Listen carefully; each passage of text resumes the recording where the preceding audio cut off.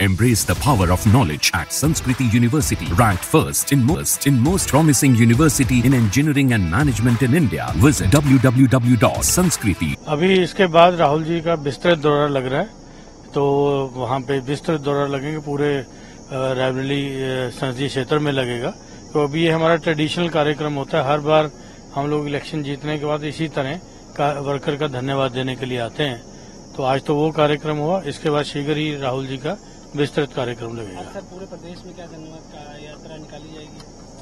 नहीं वो तो हमारी कांग्रेस ने अनाउंस कर दिया वो तो निकल के आज से शुरू हो गई है।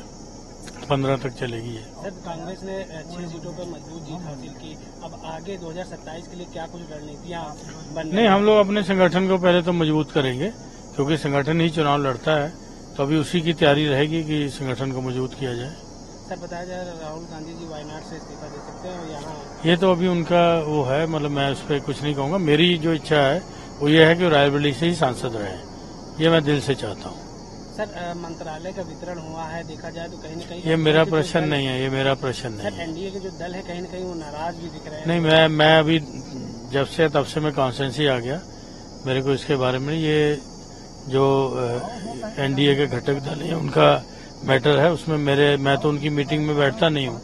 तो इसलिए उनके अंदर का मामला है उसमें मेरे को कोई टिप्पणी नहीं करनी है। सर रायबरेली और अमेठी का विकास किस तरह से किया जाएगा?